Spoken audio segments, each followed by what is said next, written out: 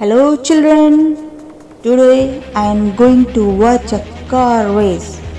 Do you want to join me? Okay, come fast.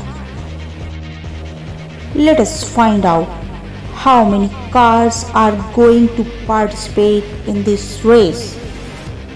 1, 2, 3, 4, 5, 6, 7, 8, 9 and 10. 10 cars are going to participate in this race. Now the race is going to start. 3, 2, 1.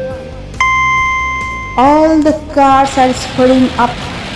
The competition is very neck to neck. Any car can win the race.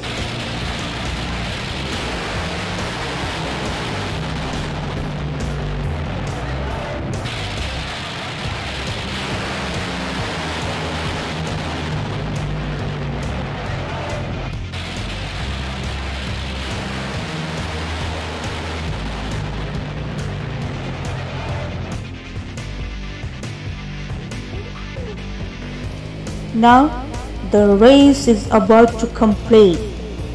Let's see the position of these cars. First, second, third, fourth, fifth, sixth, seventh, eighth, ninth, tenth.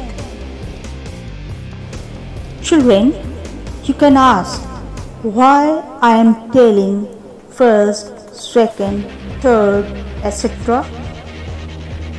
Because these are ordinal numbers. What is ordinal number? A number that tells the position of something in a list is called ordinal number. I am telling about the position of these cars. That's why I am using ordinal numbers like first, second, third, etc. What is the difference between ordinal numbers and counting numbers? Counting numbers like 1, 2, 3, 4, etc. So the quantity of any object. But ordinal numbers show the position of something. So we can say that the sky blue car came first in this race.